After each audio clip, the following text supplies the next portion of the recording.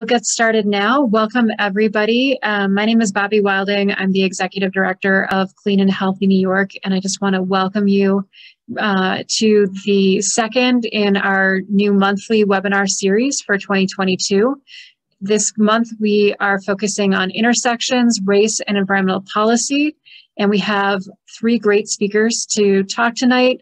The panel and discussion is going to be moderated by Paul Webster, our Director of Programs, and in just a moment, I'm going to turn the uh, mic over to him. But I just want to share for folks who aren't familiar with us, Clean and Healthy New York's mission is to build a just and healthy society in which toxic chemicals are simply unthinkable. And we work through changing laws, shifting marketplaces, and empowering people to affect change. And we're really pleased to have you all joining us today. And uh, so at the end, we'll be sharing some ways that you can take action. But in the meantime, I want to turn it over to Paul Webster to moderate this panel. Thanks again.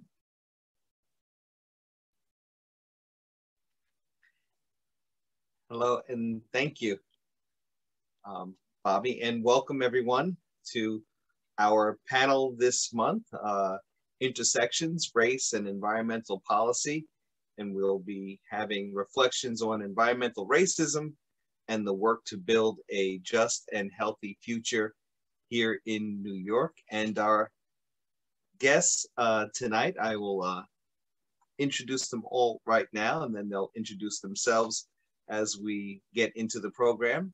Our first speaker is going to be Sophia Longsworth, and Clean and Healthy New York's new campaigns manager followed by Aaron Mair, Sierra Club board member and who works for the Adirondack Council and who's their Forever Adirondacks director, and Willie Terry, a trustee of the Troy Area Labor Council and member of the Coalition of Black Trade Unionists.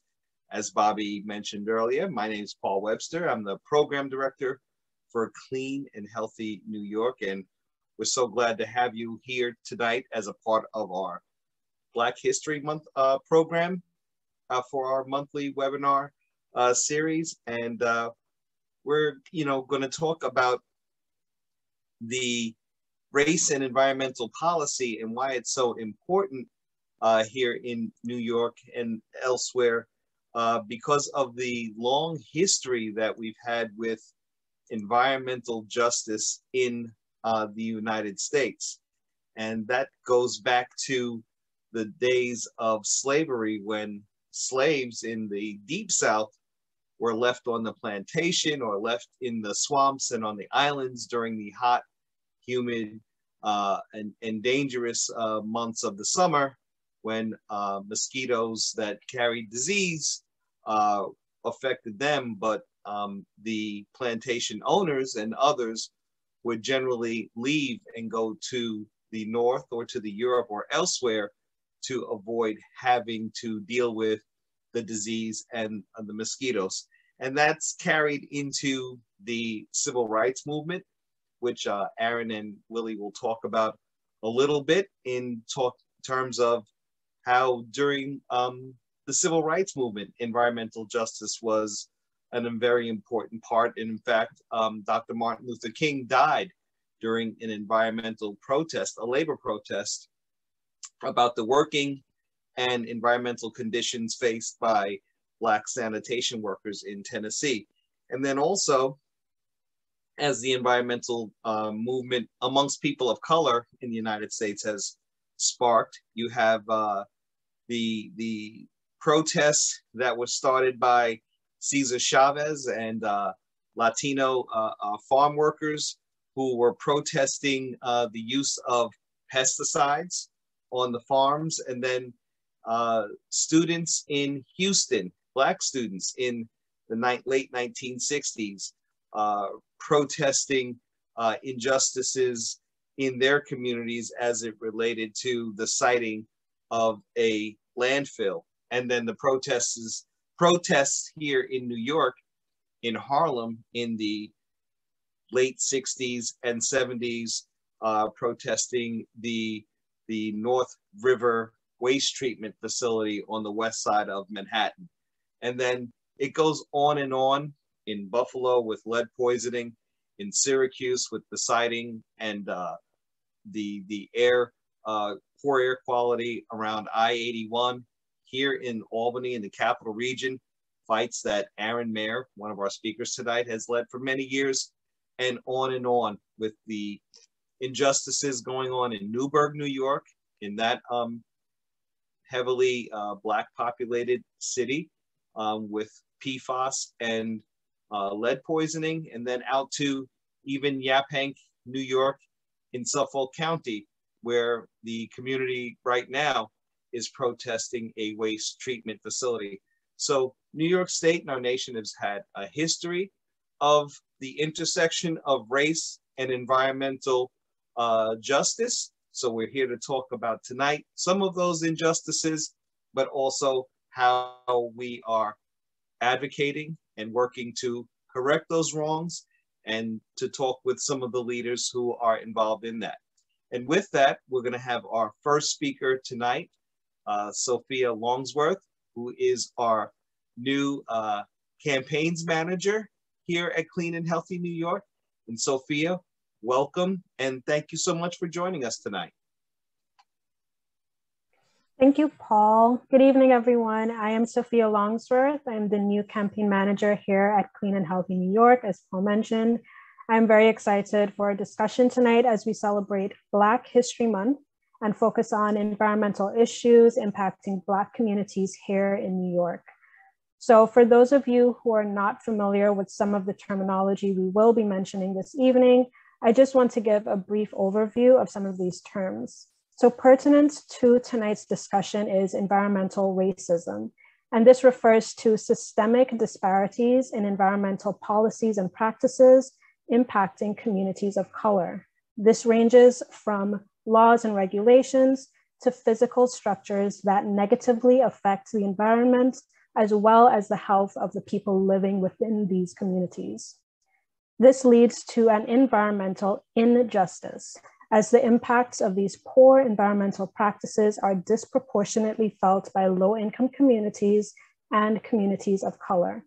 The significance of these is that there are cumulative impacts of simultaneous environmental injustices negatively impacting the overall health of the people within these communities. New York State has a well-documented history of environmental injustices whereby communities of color and low-income communities were and still are subjected to polluted environments in the places where they live, work, and go to school. Some of these injustices include the Love Canal tragedy of the 1970s in Niagara Falls, New York, where a community was built near to a former dump site for toxic chemicals. These chemicals eventually leached into the ground and toxic fumes filled the air. The impacts were evident by an increase in women having miscarriages and stillbirths, children with birth defects, and various cancer diagnoses. Some of you who are familiar with the Love Canal story may know more about the protest group led by Lois Gibbs. However, there was another organization called the Concerned Love Canal Renters Association, run by activist Eileen Thornton, consisting of mostly African American residents but this group did not get as much media coverage as their white housewife neighbors. The result of this disaster was the development of the Superfund program, officially known as CERCLA, or the Comprehensive Environmental Response, Compensation, and Liability Act, which is intended to clean up sites contaminated with hazardous waste. Nationally, communities of color and low income communities are more likely to live near environmental environmentally contaminated Superfund sites. Next slide, please. Thank you. So today, Black communities continue to face environmental injustice realities in their everyday lives, and I'll just mention a few. So starting with air pollution, naturally, naturally and nationally, Black people breathe dirtier air due to pollution from construction, agriculture, vehicular emissions, power plants, and more by virtue of these activities, uh, by virtue of where these activities are implemented. Here in New York State, residential and commercial buildings use more fossil fuels than any other state, And there are more highways, parkways, and throughways near communities of color than any other state. In New York City, where neighborhoods and buildings are more condensed than outside of the city, diesel freight trains run along communities of color, for example, from Sheepshead Bay in Brooklyn all the way to the end of Queens. Bus depots, rail yards, warehouses, and more are put in these communities where idling vehicles constantly release emissions, resulting in respiratory illnesses like asthma. And just as an example, in the Bronx, um, this community has the highest asthma rate and respiratory hospitalizations in all of New York City, and also cardiovascular diseases and premature death. So this image here shows that people of color and mostly Black people breathe in pollutants from gas combustion for residential heating and hot water at a higher rate than their other racial and ethnic counterparts. Next slide, please. So this one here shows that on a national scale, Black people are more likely to breathe polluted air from construction, power plants, industrial, residential, and agricultural activity, and cars and trucks, more so than any other racial or ethnic group. Next slide, please.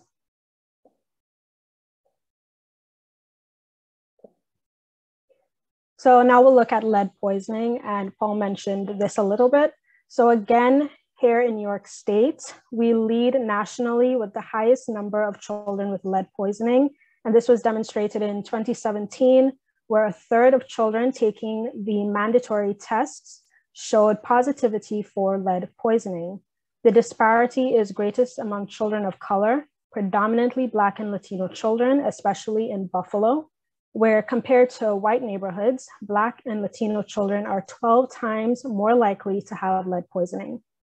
Lead in paint was outlawed in the 1970s, but a lack of proper remediation and renovation to homes means that this toxic paint is still in the homes where children's re children reside, resulting in damage to the brain and nervous system, lower IQs, slowing of growth and development, impacts to hearing and speech, and learning and behavioral problems. In adults, some of the effects include kidney and reproductive organ failure. And this problem, problem still persists in communities in Newburgh and Syracuse, as Paul mentioned. So this image here shows that Black children are more likely to have higher blood lead levels than other groups. But just so you all know, and as a reminder for those of you who already know, there is no safe blood lead level. Next slide, please. Lastly, we'll look at waste management. Since the closure of the Fresh Kills landfill in Staten Island in 2001, New York City no longer had a reliable resting ground for its waste. It then began seeking solutions in states nearby, as well as upstate New York. However, before the tons of garbage could be exported out of the city, it first had to pass through waste transfer stations that were installed in neighborhoods where communities of color live. Apart from the aesthetic, the problem with waste transfer stations is the creation of noise pollution, foul odors, litter blown off these transfer trucks, the attraction of rodents and ver vermin, and of course, the air pollution from the vehicles, making hundreds of daily trips to and from the waste transfer stations.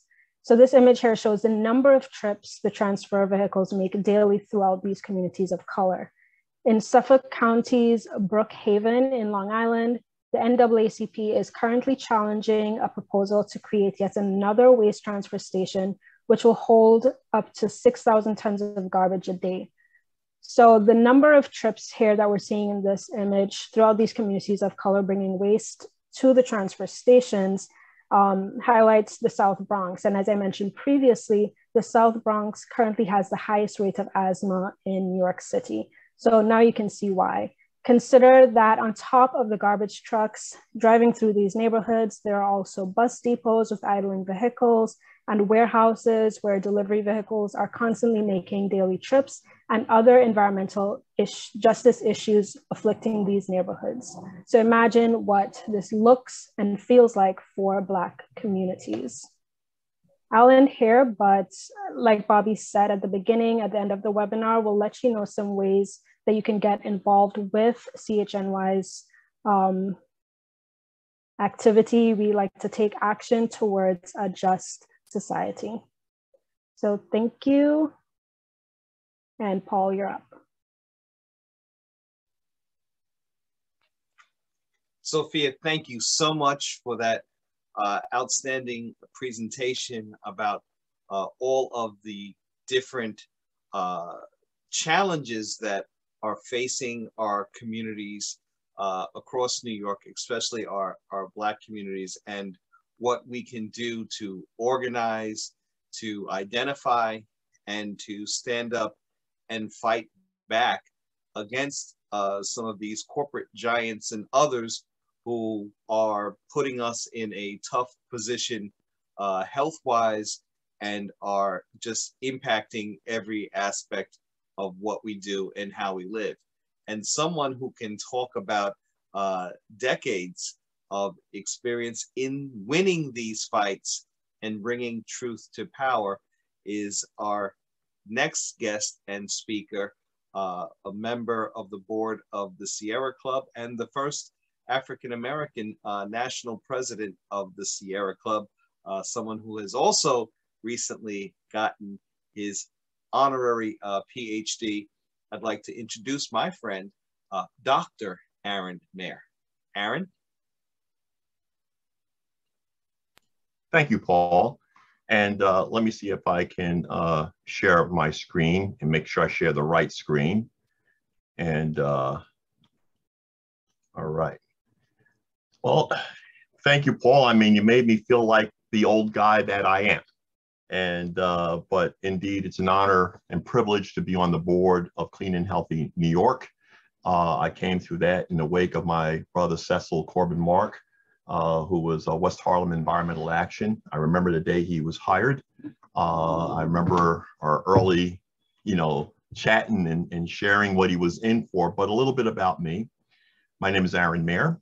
Uh, as Paul mentioned, I guess I'm very old in the movement, but yes, I'm one of the EJ pioneers before there was an environmental justice movement. The Toxic Waste and Race Study uh, was published in 1987.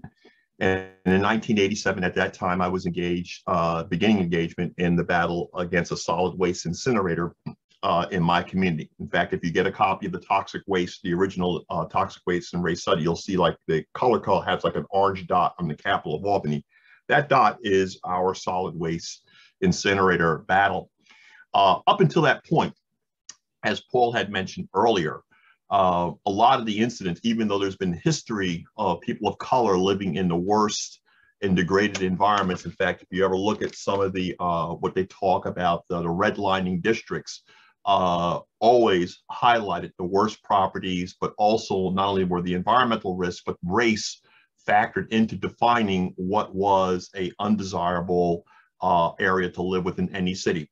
But even then, with all those dots in that historic fact and all that historic data, uh, we did not have the dots connected whereby you're linking race, environmental risk, uh, environmental policy uh, as it impacts on race or as race impacts on it. It wasn't until the uh, toxic waste and race study and Dr. led by Dr. Ben Chavis graduate student at that time, who's now Dr. Charles Lee, and my sister, uh, Vernice Miller Travis. These are your really early pioneers, what I call the foundational pioneers in what would become the environmental justice movement. My brother, Dr. Bob Bullard, uh, they call him the father of environmental justice because he's done an excellent job in not only choreographing and writing the, the, the, the background and recording all the actions that we were doing since the first uh, People of Color Summit and capturing our histories and our stories and our narrative and creating the entire pedagogy around uh, environmental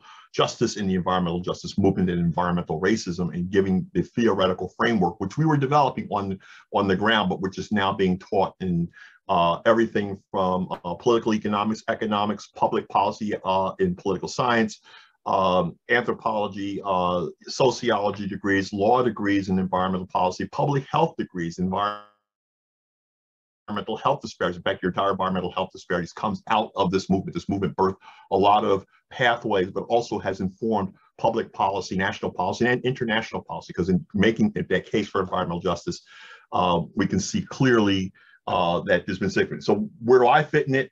Well, since uh, you know I was basically on the ground fighting the incinerator, uh, and as I say, there's a difference. I differentiate the class of actors and activists who are actually on the ground, the uh, intellectuals and scholars who are documenting and doing the analysis and actually coming up with the data to, that would ultimately define the movement and scholarship. And then there's, you know, uh, like I said, those who, who keep it going. So for me, uh, Bob, Bob Bullard calls himself the uh, father of the environmental movement or the George Washington of the movement.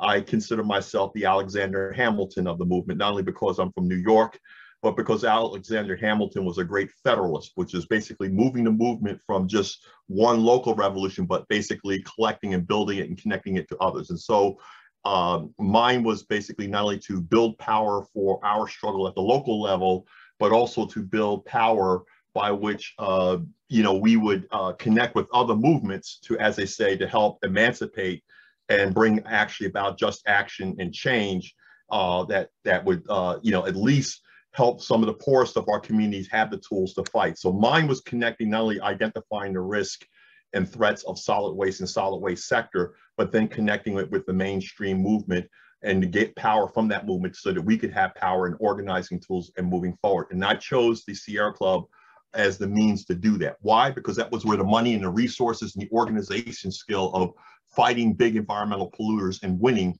And I saw that as a natural ally. I made my case to that organization uh, some 30 years ago.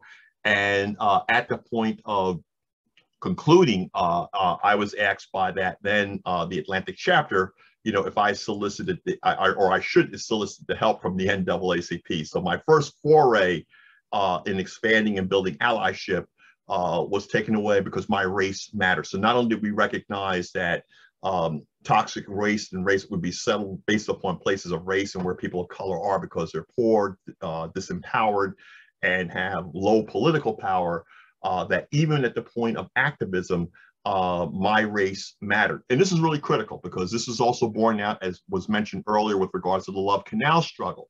Uh, again, uh, the state, in the case of Love Canal, it poured massive state government resources, human health studies, just like you saw the POF, PFOAS right across the river in, in, Rensselaer, how the state went in, did blood testing on the white population.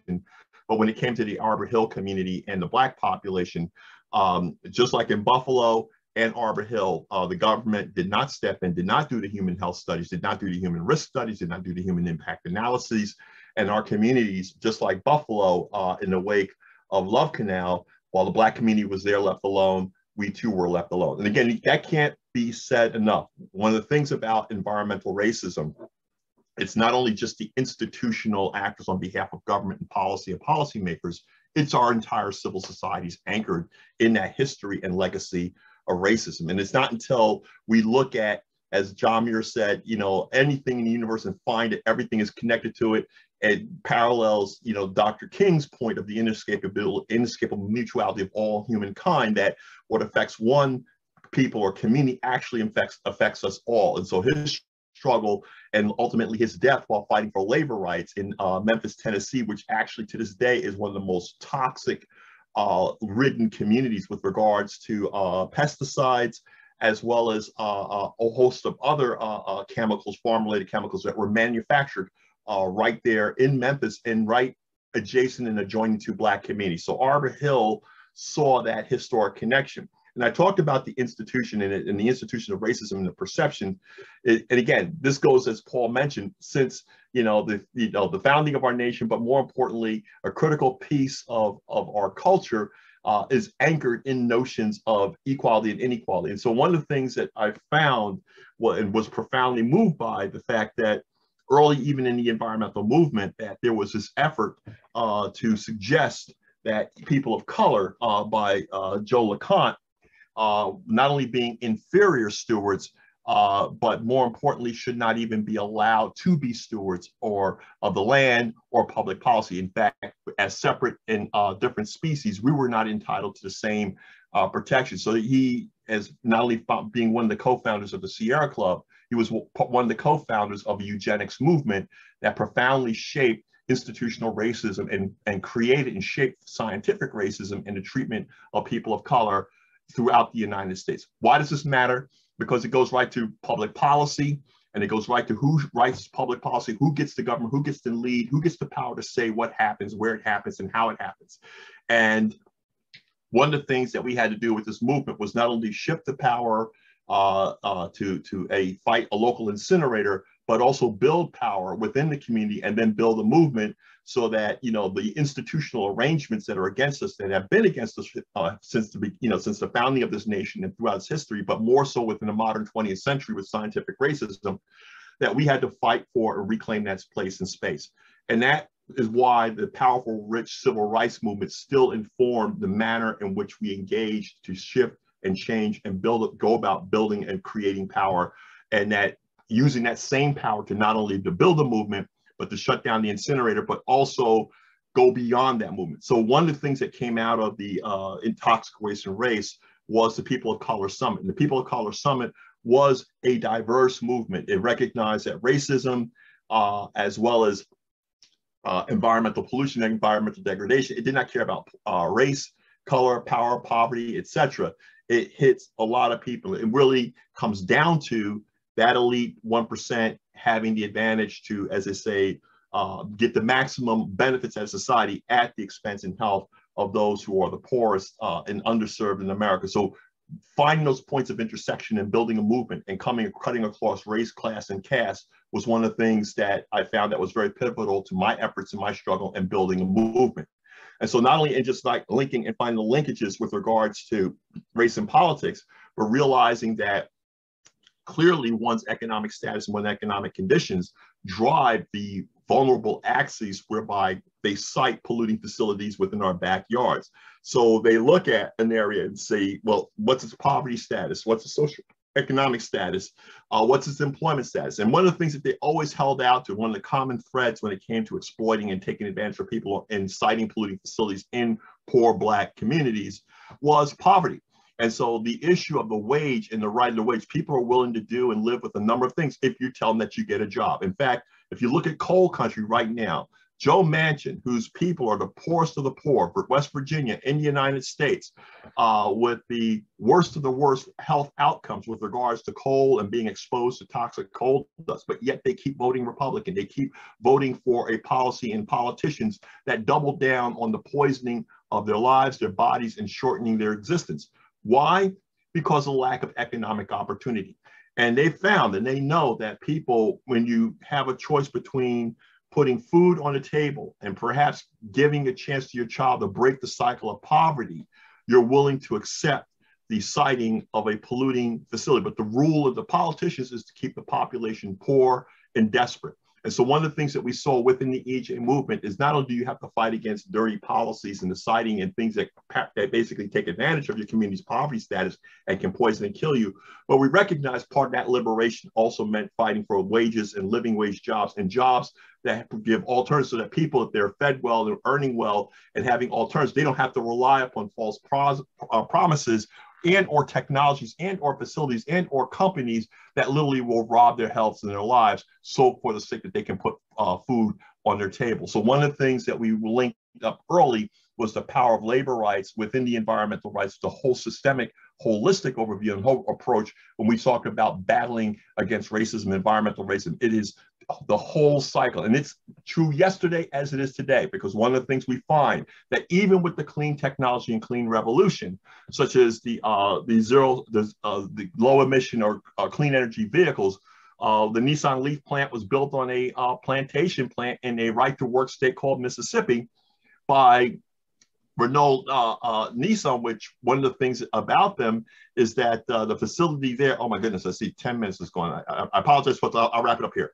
And one of the things that we found there is that uh, even with the current fight for climate and climate change, uh, you know, that even still right now, even the clean energy solutions are finding their fault along the desperate needs and exploitation of our people of color and thereby putting a plant that's going to be producing a car that would save the planet by a, a clean energy vehicle, but on an institution taking advantage of institutional racism that basically pays our workers less than $15 an hour. And so being there to fight for those issues and lifting those up is part of the broader emancipation of the environmental movement. And I apologize, uh, I, I, had to cut basically a, a, a, one hour presentation down to about 10 minutes, but uh, we will probably pick it up in some of the questions. Thank you, Paul. Yes, thank you, Aaron, for that wonderful uh, presentation. Uh, and we want to get to our next presenter who will pick up that torch uh, in, in, in passing it over to Brother Willie Terry, who is a trustee of the Troy Area Labor Council, a retiree from the CSEA Union, Local 690, and definitely an outstanding leader within the labor movement here, uh, not only in New York, but nationally as one of the leaders within the Coalition of Black Trade Unionists. And he's gonna talk to us about uh, some of the things that labor has done to contribute to the fight. And as you heard Aaron mentioned the fight for workers and the fight uh, to get uh, wages raised in the fight for 15. These are some of the things that CBTU and some of our local leaders here in New York, like Willie Terry, are engaged in. And uh, it's so good to have him here with our program today. Hi, Willie. Thanks so much for being here. Uh, why don't you introduce yourself? Hey, thank you, Paul. Uh, you said it all, Paul. you said it all. Uh, uh, good afternoon, uh, everyone. Uh, first of all, I just want to say that uh, today I'm here to talk about one of the groups that involved in this fight against environmental racism, and that's the Coalition of Black Trade Unions. But I want to say that my name is Willie Terry, and I'm a member of the Capital District Coalition of Black Trade Unions. And our president is uh, Shauna, Davis. Now, we are uh, national in scope and we are international in our membership. Uh, we have chapters throughout the US and Canada, and our work around the subject matter that's being discussed is nationwide under our CARAT team, which stands for Community Action and Response Toxic. And our CARAT team is led by our project director, uh, Carolyn Bell, and our executive director, uh, Peyton M. Wilkerson, uh, who couldn't be here today. Uh, so I'm uh, standing in for him. Uh, many low-income communities and people of color suffer a disproportionate burden of environmental hazards and, and the various health problems associated with poor air quality, water, and toxic exposure. Often these communities are also victims of environmental racism and discriminatory enforcement of environmental laws and regulations, resulting in high rates of uh, disease, birth defects, and sometimes early death. Now, the Coalition of Black Trade Unions is part of the growing environmental justice movement that empowers community-based organizations to identify harmful or discriminatory conditions and also mobilize their constituency and resolve local environmental health problems. Well, in 1998, uh, the Coalition of Black Trade Unions, uh, we initiated an environmental action strategy. And uh, several of our chapters uh, formed the Community Action and Response uh, Against Toxic team, which is known as CARAT, which along with other safety and environmental allies, uh, we use to help educate and monitor issues such as illegal waste dumping and hauling in the poor community. And I want to say that, uh, here, that the CARAT teams that we have, these teams are comprised of trade unionists uh, affected residents, environmental justice uh, advocates, legislators, community leaders, scientists, and other persons of interest in a collective environmental health protection effort. And I'm talking about the uh, CBTU because CBTU is one of the uh, longest labor groups that have been working on this particular issue. And they've been around since 1972. Now, what do the CARAT team do? Well, what we do, we organize grassroots community rallies, marches, demonstrations. We serve as a liaison between community-based minority groups and environmental advocate organizations and agencies. And we access the needs of communities and hope in him to help to propose uh, some solution. And we provide environmental hazard information uh, to those agencies that need to know what is happening in our particular communities. Now, uh, one thing uh, that we uh, do also is that we host, uh, we have a national conference every year. And at that conference, we also have as part of our conference, uh, environmental justice uh, part of that. And uh, what we do, we uh, talk about different things that are going on in the various communities because of our outreach. And uh, those conferences are well attended by our, our membership. But what I do want to say is that this all this gonna go gonna continue as long as we uh, don't uh, really get out there and fight it. And uh, I think what we have to do is what Frederick Douglass said. He said that we have to struggle. And he said that if there is no struggle, there is no progress. So uh, I want to say that uh, we of the Coalition of Black Trade Unions will uh, unite and continue to fight with anybody who want to work with us. So Paul, I just want to say I, I would answer maybe some questions in the in the in, in the question part. Absolutely, and thank you so much, Brother Willie Terry of CBTU, and uh, for being here with us this evening. And and yes, I got to talk to uh, Peyton earlier today, and uh, he had some uh, familial uh, obligations tonight to take care of, uh, celebrating his uh, anniversary. Uh, but um, he definitely said that he intends to be here in the future. And I know we also have a link to uh, cbtu.org and uh, the CARAT team. So that way, if folks would like to get information, I know that Gabby's going to put that link in the chat so you can find out more about uh, the Coalition of Black Trade Unionists. And as Willie said, it's an international uh, organization, but that's uh, headed by a great New Yorker, uh, the Reverend Terry Melvin of the New York State AFL-CIO. And uh, Willie and I are both members of the Capital District uh, chapter of the CBTU, which is headed by Shauna Davis. And Willie, thank you so much. And we're definitely going to get some questions to you in a moment.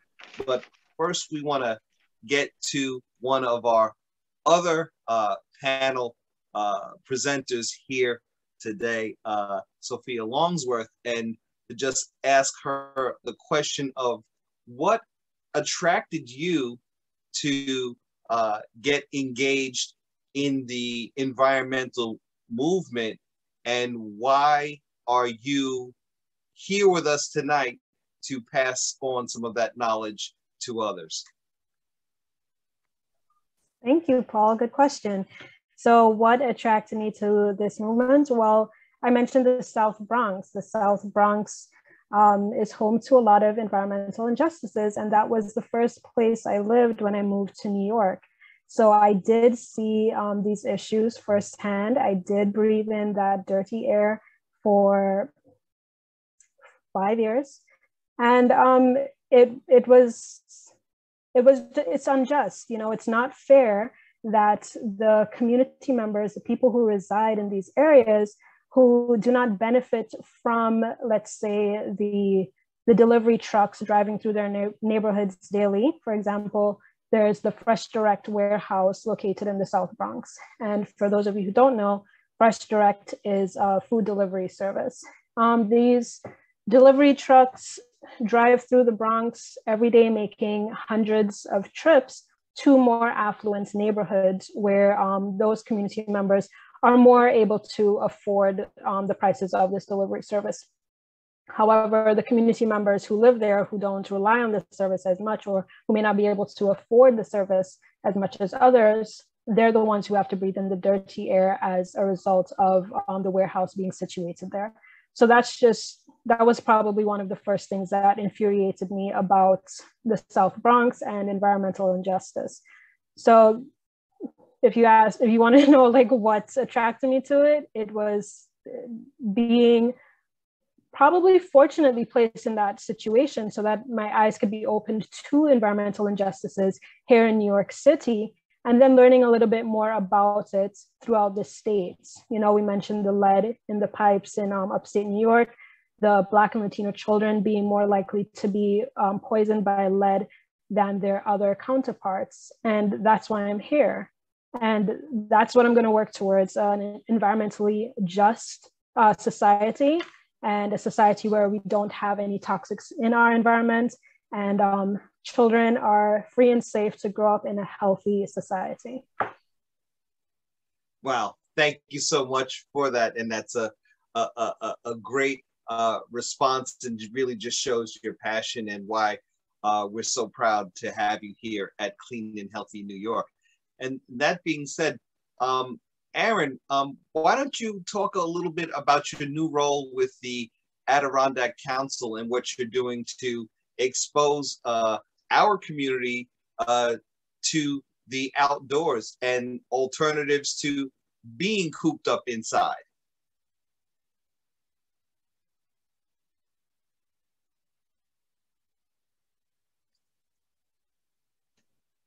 My, apologies. my apologies. Uh, you know, uh, you know, it's one of those things where you know it's it's actually a blessing uh, to actually finally advocate uh, in this space. Uh, people of color are no are not new to the outdoors. In fact, when we do land recognitions in honor of the First Nations whose lands have been taken as a part of the creation of the United States of America, a second thing that we also need to get in the habit of doing is people recognition, which are the forced nations of Africa who were enslaved to so-called cut, shape, put in roads, and build the infrastructure that to this day uh, this nation has come to depend upon, but also the founding capitalism. So I happen to be blessed to work in the Adirondacks of upstate New York. And um, I, as I said, not new. My fact, we travel every year to our family homelands that we've owned since we were enslaved. My daughter is there, Olivia, sixth generation free on land that we've had since emancipation and I'm standing there with the uh, with what we call Caesar's Head Mountain uh, behind me. My ancestors in 1842 were the five-star field guides and staff who took naturalists all around to see the flora and fauna and finding medicinal plants and herbs. So our people have always historically been connected to uh, uh, uh the outdoors. And so um, doing this job now with the uh, Forever Adirondacks campaign is not only focusing in on the crisis and the need to preserve wilderness because we need to do uh, a new Green New Deal to put people to protect the wilderness because it's our biggest natural carbon sink rather than investing tens of billions in uh, what they call carbon sequestration plants. People don't realize that in any plant that they can build and of existing technology, what it what they can sequester in carbon in manu manufacturing facilities in 30 uh, uh, uh, days, the Adirondacks and places like the Adirondacks in its forests can do literally in about an hour. So we already have the carbon sequestration plants. Now is connecting the people to the outdoors and the wilderness and the new jobs to be employed in this place and space and in this and empowering this technology so that they can a not only be part of the climate uh, solution with regards to protecting wilderness and forests, but also regaining and recapturing the history that many of us, uh, since we were enslaved, have been, you know, have been land stewards. Uh, so right now, working in the Adirondack, making sure it's a welcoming and inviting place and space. but also pushing right now the governor to create the new opportunities of 21st uh, century jobs with regards to planet protection and climate protection, and making sure that our communities are also prepared and ready to take part of those jobs and take part of those new economic opportunities. So as I share with you from that slide with my daughter and my family, it's literally going back to the future for me. All right, Aaron, there is a question for you um, and uh, from the audience, and it's uh, um, the question is, uh, given your experience, how have your views evolved with regards to making lasting progress and getting beyond fighting the same fights over and over? Well, the point is, is that that's what resistance is about. It's it's the long struggle. Uh, the civil rights movement, as we can see, has never stopped. You know, it's it's it comes in waves, it comes in setbacks. We right now see with the current majority uh, that controls the, the Supreme Court uh, they're what they call strict textualist constitutionalists. Let me tell you what that means elementally. These are people who believe that the Constitution as it's written is unchangeable. So in the eyes of some of these strict still a human being. So the against against racism and as it was charted in our constitution of the country, that battle never stops. And that's at the national level. We see that that onslaught begins. In fact, it was what drove and still drives the power of the Republican Party and, and Donald Trump. The only thing is now the mask is off and they're saying and living the, the silent part out loud. So our struggles at the grassroots level for fighting for environmental justice and all of the facets and making sure that we have our rights equally protected under the law, that battle never ends. Uh, so the question is more or less is that what do you do to recharge? What do you do to reconnect? How do you recharge yourself from an ongoing uh, perpetual struggle that ebbs and flows? Well, that's where my family, my network of friends, brothers and sisters like here with Clean and Healthy New York, um, reinforcing that we're not alone, but we have much more work to do. But sharing that work and sharing that love and sharing that responsibility, your attention and participating and listening to us, hearing the old story, the long story, but how the past is not new again. Uh, and, and taking in that knowledge and walking away with that is going to be very critical. So the issue is, is that, you know, I am just the latest generation. I stand upon the generation of civil rights activists, labor rights activists like my father and my family, and uh, those who went before me. You saw that slide. My ancestors have literally been at the forefront of various civil rights battles, you know, since you know the founding of this nation and since our people were enslaved. So the answer at the end of the day is that it's a duty and a responsibility because if we do not stand, then they come for our children, they come for our neighbors, as well as come for the rest of what's left for our planet. So we must stand in solidarity if we're going to save humanity. In order to uh, save this planet, we must enlist humanity. To save humanity, we must work in collaboratively together, transforming and transcending racism, sexism, and homophobia, all those divisive tools that they use to divide us so they can, they can maintain hegemony and be on top. These are the things that we must be construct to build a strong uh, environmental movement, environmental justice movement, but recognize our place is every place on this planet. All right. Thank you so much, Brother Aaron. And then we have another question, and this question is for Willie Terry, and that is how will the issue of environmental justice be addressed? And equally important, how can we achieve greater awareness of the issue in our various communities? And I know I've been on enough protest lines with you, uh, Willie, and marches uh, that I know you you've got this question. Go ahead. Yeah, uh, you know, Aaron, Aaron has said a lot. You know, I'm listening to him, and you know, in my mind, it says th those are the things that I would like to say that he's saying. But one thing I want to say is that, that, that I'm a labor person, and, and labor, you know, organizing is, is one of the key uh, areas that we uh, working in uh, one of the key things that keep us going. And if we're gonna build this movement, I think it got to be like Dr. King uh, was building the poor people movement. He was getting labor and the community and the community and civil rights group together to build a mass movement. Well, that's what we're gonna have to do in order to uh, uh, uh continue this movement and, and continue this fight because of the people who are uh, against us or, or, the people who are polluting uh, uh, or, or, messing up the environment, uh, they are they are organized. But the community can't deal with them just per se. So labor who's have who know organizing is the one that have to be out there uh, coalition with the community and raising the uh, political issues about what is happening.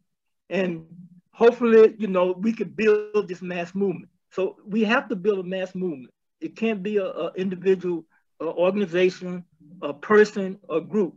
It will have to be a mass movement. And that means that everything that we do you know have to be we build locally we build individually our overall goal is that it we are building this towards building a mass movement. Okay.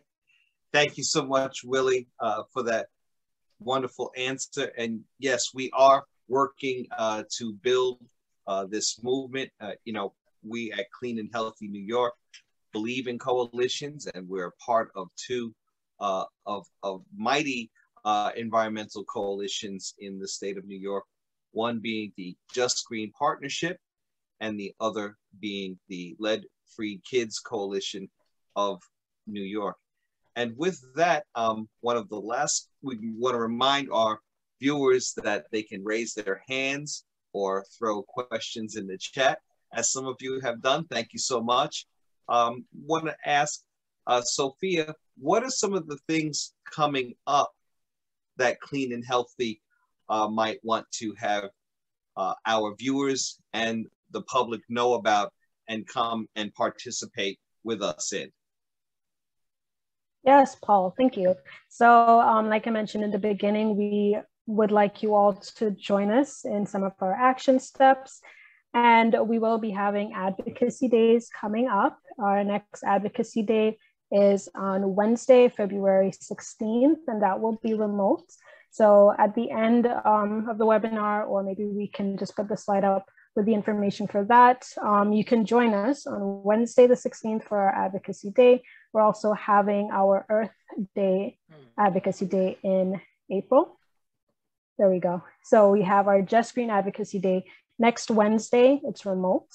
We're also having one in March. That's on Tuesday, March 15th, the Lead Free Kids New York Advocacy Day and of course the Earth Day Advocacy Day, Tuesday, April 26th. So the first two will be held remotely.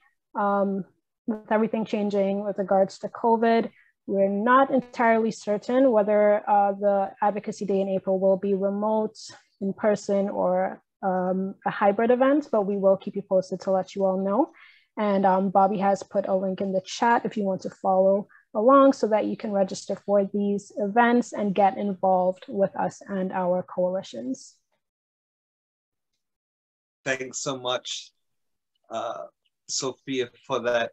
And really thank you to all of our participants, our viewers, and all of our um, panelists here tonight as well. And, you know, we've got five minutes left in this evening's program and everything, and wanted to give all of our uh, panelists an opportunity to uh, uh, say one more last uh, closing statement, and we'll we'll start with Willie. And uh, Willie, you've got one minute, and then we'll go to Aaron, and we'll have uh, Sophia, and then our executive director Bobbi Wilding close us out. Go ahead, Willie.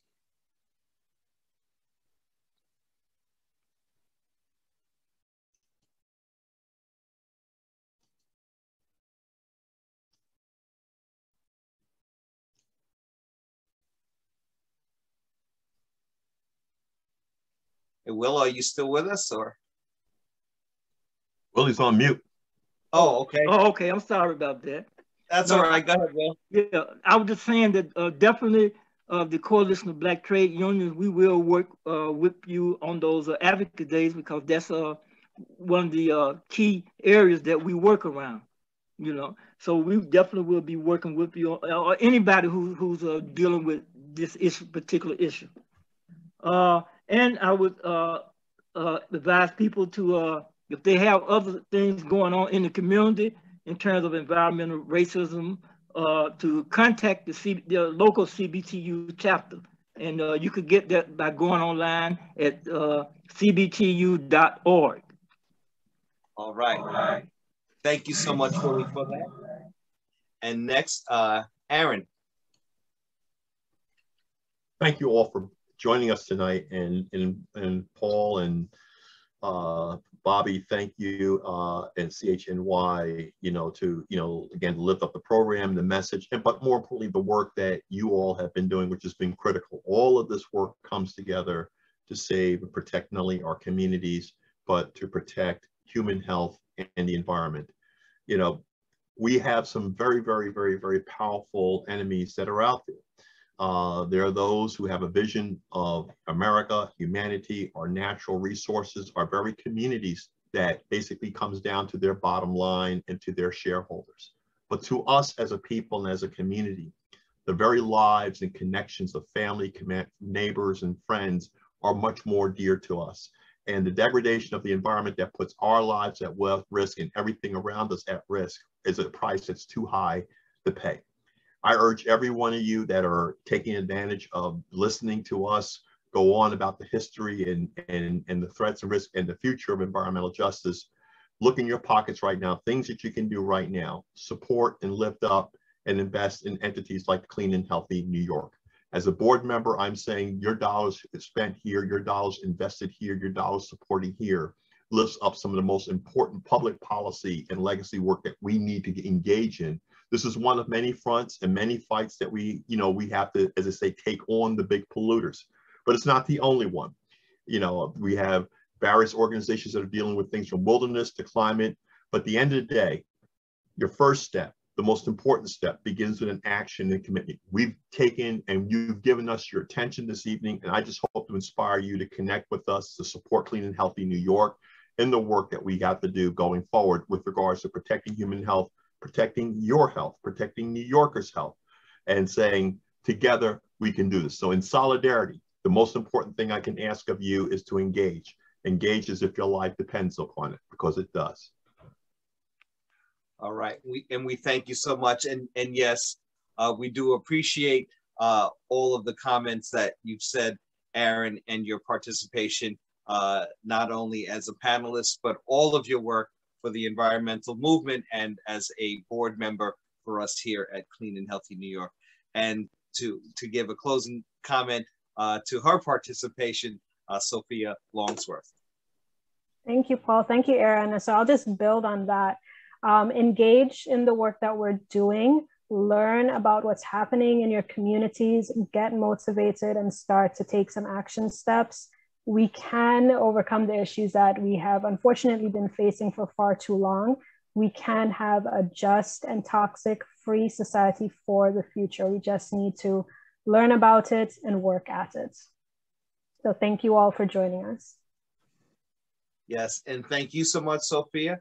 And to close us out this evening, uh, as I introduce once again our executive director, Bobbi Wilding, I just want to thank you all for being a part of this intersections, race, and the environmental policy. Uh, and on behalf of uh, the other staff here at Clean and Healthy New York, thank you so much. And to thank you behind the scenes, uh, Gabrielle Gonzalez, one of our program uh, associates, uh, for her work in helping to put this together, the slides, and all of the other things that help make this uh, flawless. Bobbi, take it away. Thanks so much, Paul. And, you know, I just want to echo all of the gratitude for um, all of your your wisdom and your knowledge that you shared with us, Aaron and Willie and Sophia. And thank you, Paul, for moderating and Gabby for doing all the tech work behind the scenes.